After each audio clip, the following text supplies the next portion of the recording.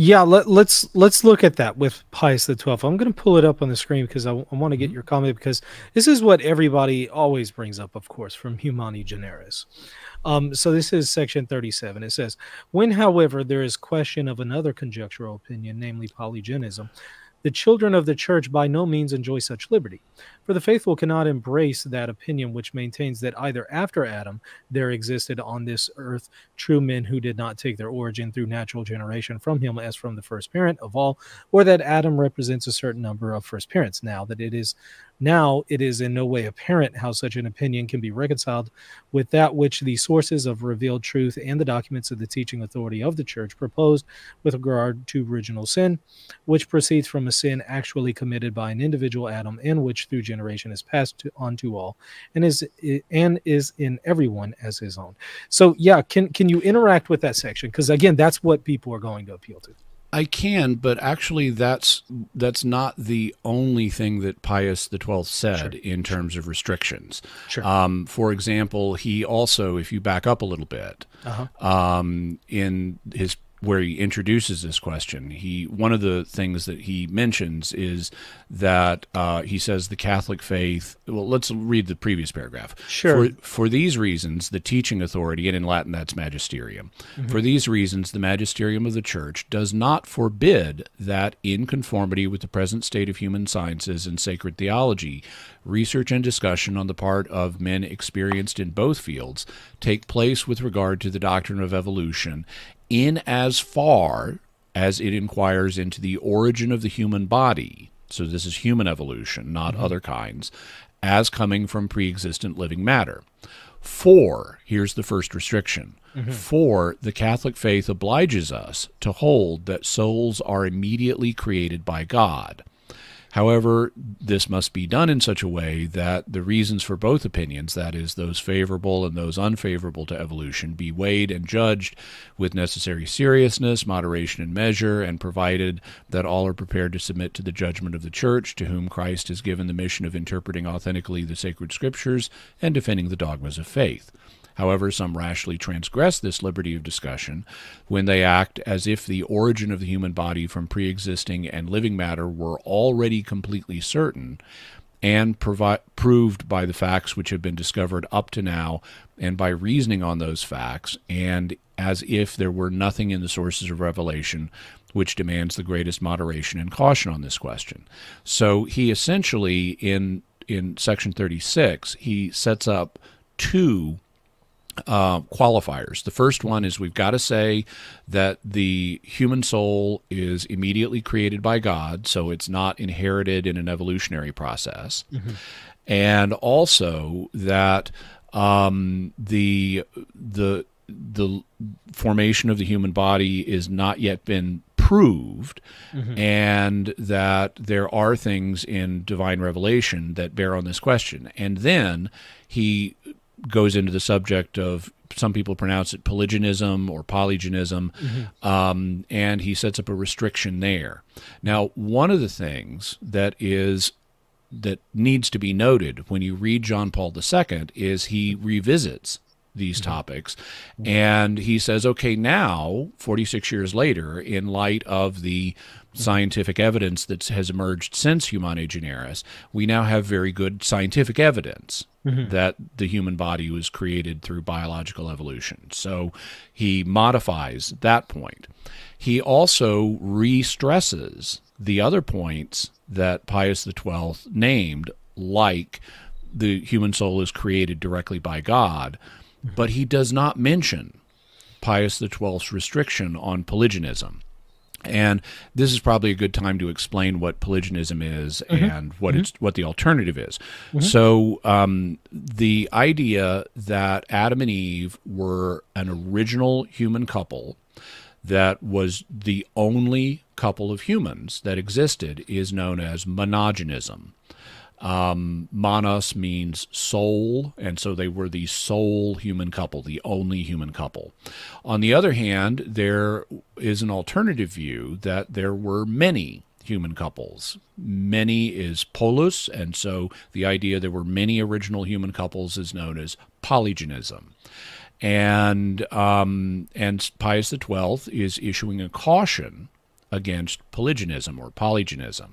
Um, the specific language he uses, though, isn't to say it's false. If you, eh, we always have to be very careful in analyzing the language that the magisterium uses in its documents, and the language he uses is regulatory mm-hmm. rather than doctrinal, because what he says is that Catholics don't have the liberty right to entertain polygenism. And he doesn't say polygenism is false. He says we don't have the liberty to uh, to freely discuss it. And so that's regulatory language. Mm-hmm. And then he gives a reason for the regulation which is that it's not obvious mm-hmm. how to square this with the doctrine of original sin because the traditional understanding of original sin is Adam and Eve were one couple, they fell into sin, and we all inherited original sin from them. Mm-hmm. And so he says, because it's not obvious how to square this with original sin, we don't have the liberty to entertain this the way we do other aspects of biological evolution. Well, the what that did, what the effect of that was, was it focused theological attention on can these two things be reconciled? Can you reconcile polygenism with original sin? And so bunches of theologians started working on that question. They started writing on it, and they started proposing ways that you could reconcile multiple original human couples with the idea of original sin. They, in fact, produced different models for how to do that. And by the 1960s, the mid 1960s, the Vatican's own newspaper, mm-hmm. L'Osservatore Romano, was publishing an article saying here are several different ways you could reconcile original sin with polygenism. And this was back in the day when getting published in L'Osservatore Romano actually meant something. I mean, today they do reviews of The Simpsons, but back then in the mid 1960s, you know, this was a, this was a definite sign that your views are compatible with an Orthodox Catholic understanding if they're getting published in the Vatican's own newspaper. And so for them to be printing stuff like that in the mid 1960s indicates there had already been a shift you then look, and that shift continues. Uh, I've done a careful study of the history of this, but you find uh, Paul VI issuing cautions uh, about polygenism, just saying you shouldn't proceed as if it's been proved. He he's he's not forbidding discussion of it the way Pius XII did, but he's saying you shouldn't be proceeding as if it's already been proved because in his view it hasn't. Um, early in the reign of John Paul II, you find similar statements from him where he's he's you know quoting Paul VI and saying, "Look, guys." He's not saying don't discuss it, but he's just saying don't assume it. Don't mm-hmm. assume it's been proved.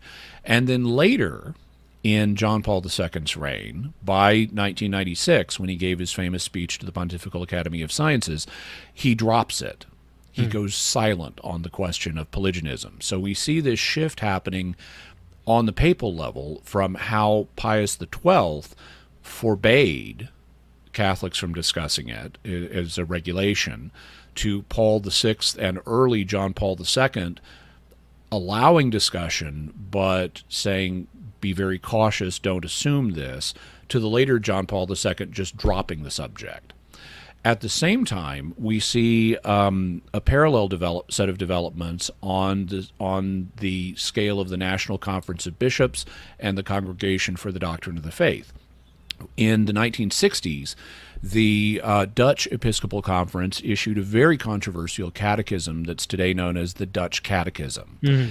And it discussed uh, original sin and other issues in ways that were problematic. And so Paul VI appointed a commission of cardinals to review the Dutch Catechism and point out deficiencies. And these were then published as an appendix.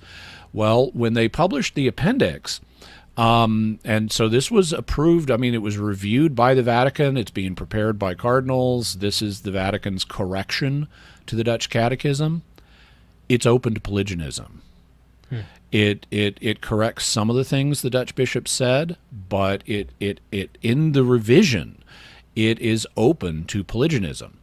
You then in the 1980s had the German Conference of Bishops. Now, I should mention after the release of the Dutch Catechism, because that was such a problem for the church, a rule got implemented that national catechisms, if they're being issued in the name of a conference of bishops, they have to be reviewed first before they can be published by the Congregation for the Doctrine of the Faith because national catechisms are big, prestigious things. They're going to influence a lot of people. And after the debacle of the Dutch catechism, the CDF now gets to review them and sign off on them before you print them.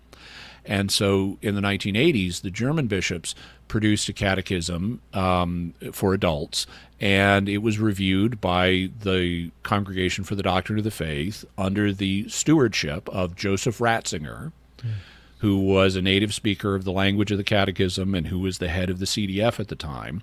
And they gave their approval and let the German bishops publish it. And it also is open to polygenism. In fact, it's it's printed by Ignatius Press. It's called a Catholic Adult Catechism.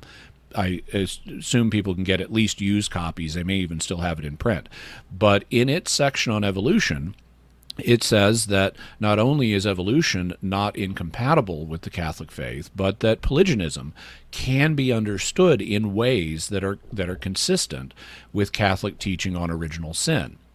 Then in 2002, the International Theological Commission, which is a body that's run, it's an advisory body, but it's run by the Congregation of the Doctrine of the Faith it published a document called Communion and Stewardship, which dealt, among other things, with the image of God in man. And it, in discussing the, the, the issue of human origins, is also explicitly open to polygenism. In one passage, it talks about how Adam could be understood either as an individual or as a symbol of the early human community. And in another passage, it talks about how the human population um, emerged according to the standard account, you know, several tens of thousands of years ago in Africa. And you could understand the emergence of humanity either in terms of individuals or populations. And so you have the International Theological Commission under the auspices of the CDF again, being open to polygenism and saying we can understand it in ways that are compatible with the Christian faith. And one of the things that the bylaws for the International Theological Commission states is that its documents have to before they can be published they have to be reviewed either by the pope or the head of the CDF and they can only be published on the provision that the magisterium does not have any difficulty with them. Hmm. And so that means that either Joseph Ratzinger or John Paul II reviewed communion and stewardship ahead of time and concluded that from a magisterial point of view, there was not any difficulty with what it said in terms of um, the question of, poly- of, of polygenism. Um, so we have, again, a, a, a significant shift on this question from where things were several decades before. Also, I'd happen to mention that one of the later successors of John Paul II, uh, Cardinal Gerhard Muller, um, who was head of the CDF towards the end of Benedict's pontificate and the beginning of Francis's pontificate, um, he's he is uh, uh, an author. He's written a book of dogmatic theology in German. It's a big, huge book. Um, but if you read what he says when he talks about this uh, section of Humani Generis and and so forth, he indicates he in his dogmatic theology that this is not incompatible with the Christian faith. It can polygenism can be understood in a way that's compatible. It's not a matter of dogma that we have to reject polygenism. And there's the head of the CDF saying this in one of his own books, and he then got appointed head of the CDF. Hey, thanks for watching. Don't forget to hit the like button and the subscribe button. See you next time. God bless.